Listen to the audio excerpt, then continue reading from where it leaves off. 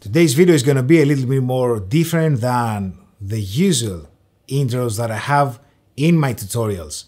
We're in the middle of the coronavirus outbreak and uh, the first thing that I want to say is to send my regards and love to all the families of the people that lost their life due this outbreak and uh, I want to send my regards to all the people that are fighting with this virus.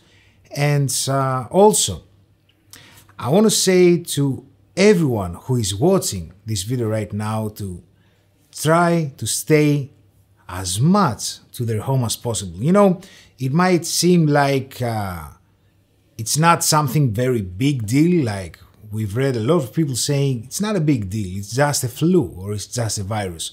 But if we want to stop down the spread of this virus, and I'm not a doctor, okay? I'm not the doctor, so I'm not talking like a specialist. I'm doing video editing and gear reviews on my channel.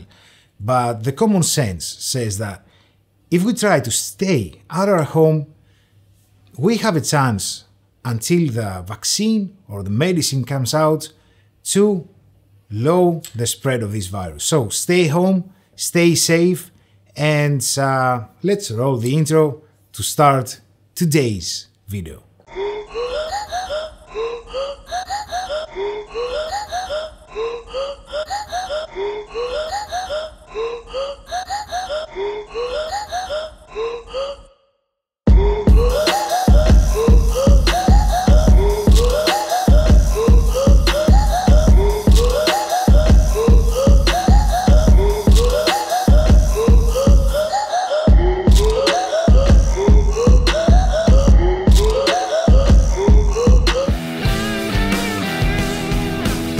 Sorry if I started a little bit, uh, you know, down, but uh, I thought that I had to say the things that I said in the beginning of this video. You know, it's hard for us. It's hard for the creators to keep creating the content that usually we create without having our minds into the coronavirus situation.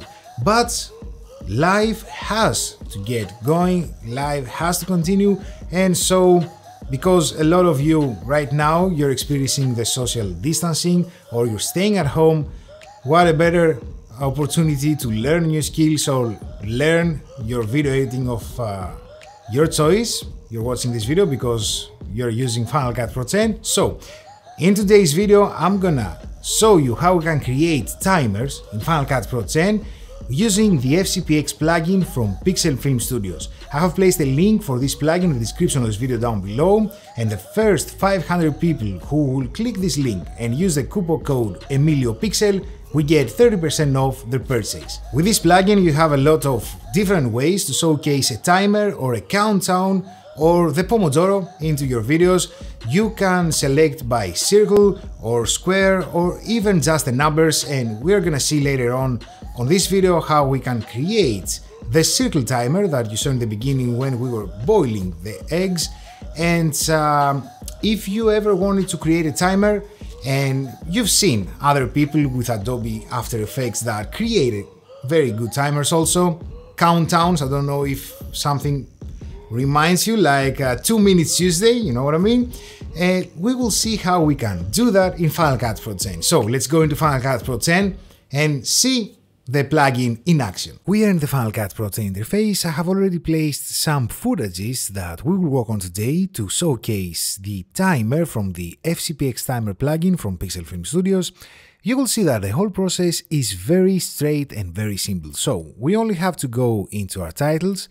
We will go into Pixel Film Studios FCPX Timer after we have installed the plugin and we can see here that we have all the available timers. I'm saying here that all the timers that you see are just a part of the timers that will come in the future as free updates of the plugin. So let's go and see the first footage that you saw in the intro. We have some eggs that are boiling and uh, let's say that we want to showcase how much time we need to boil our eggs. So let's select uh, a circle timer.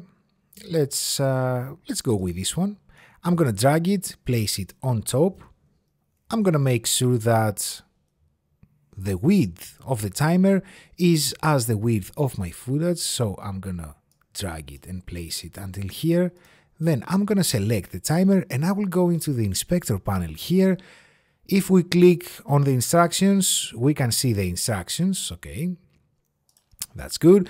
And we see that with this tool here, by clicking it, we can change where the timer is in our video.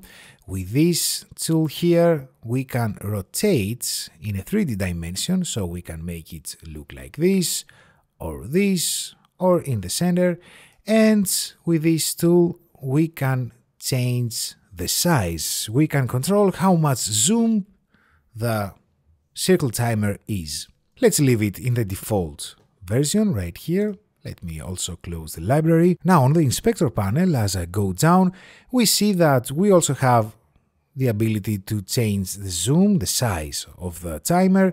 We can also change the position and also add keyframes because let's say for example we want to start here and then add the keyframe and we want at the end of the video the timer to be here so that as the keyframes work we'll create an animation of the timer.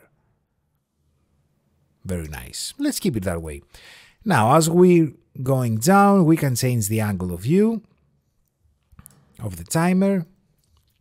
We can change the depth of field, blur amount. You see that as I'm pointing this to the right, the timer here is getting more blur we can change the focus offset of the whole timer.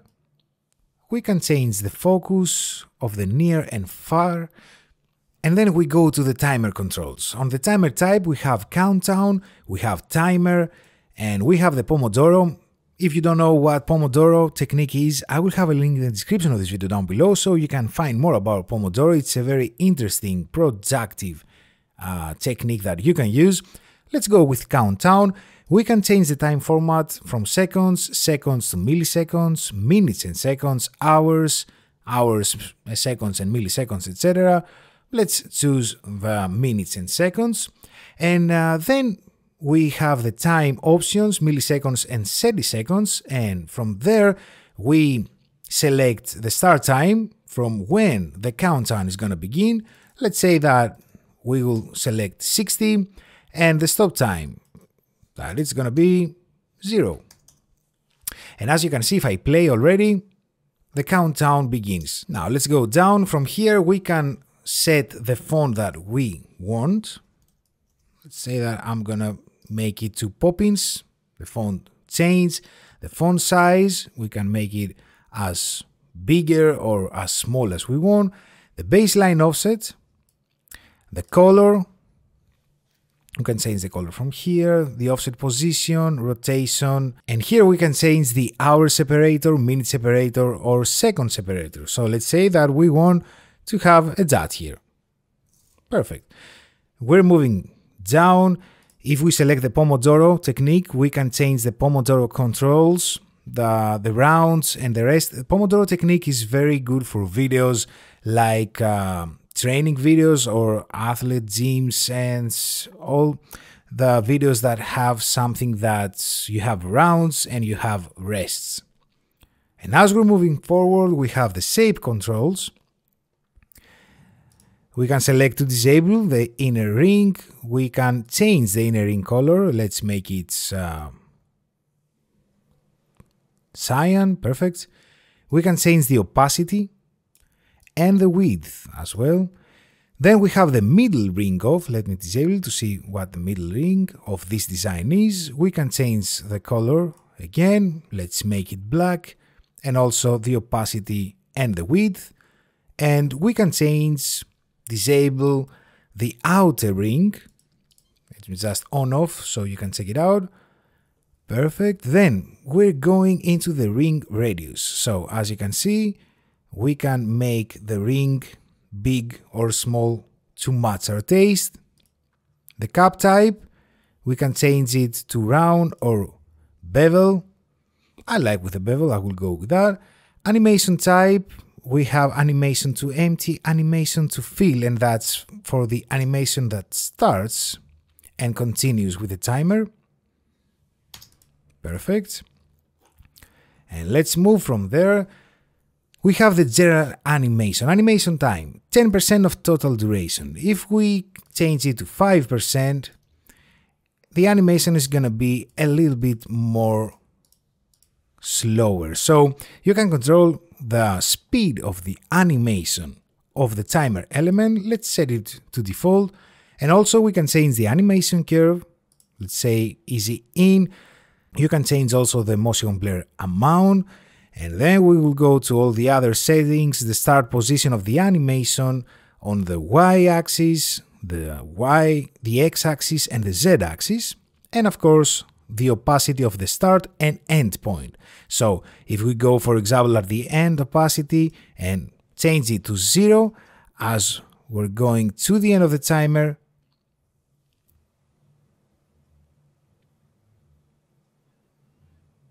you see that it faded out. And let's continue from there. We have the shadow controls.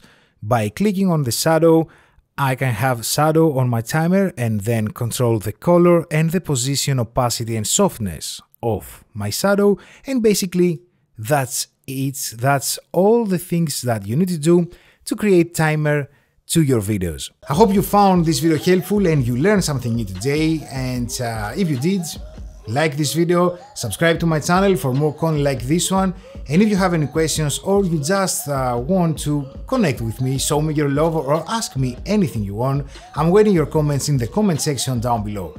Thank you so much for watching, please stay safe, stay at your home as possible, I'm Emilio Takas, and I will see you in the next video.